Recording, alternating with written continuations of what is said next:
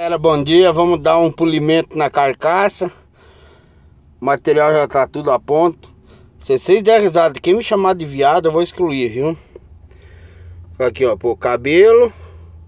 Isso aqui é pra enxaguar a boca. Pra fazer a barba.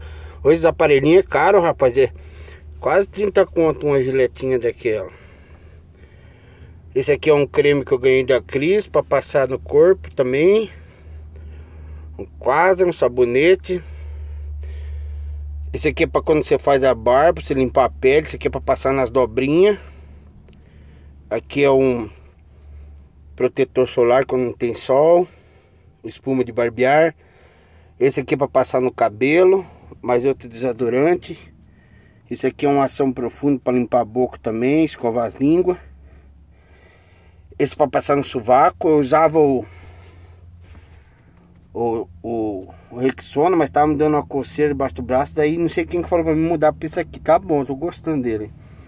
Isso aqui é uma massa corrida também passar no rosto. Uma vodol passar às vezes nas frieiras quando dá aí. Outro hidratante, passe dente, escova de dente. É o kit banho. Não é frescura não, gente. Isso aí é higiene. Entendeu? Pessoal gosta tem que ter que ser caminhoneiro e ser porco, tem que ser higiênico e básico.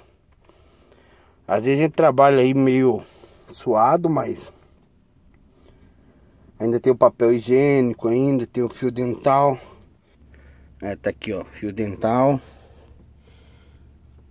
Tem que, tem que se cuidar, né? Exagero? é não, isso aí é, é um pouquinho de cada coisa. A gente vai ficando velho tem que estar tá se cuidando. Quem me chamar de viado, eu vou excluir. Não é frescura, é higiene. Se você é porco, não tem problema com a tua vida não. Tem que se cuidar. O que, que a mulherada acha aí? Tô certo ou errado?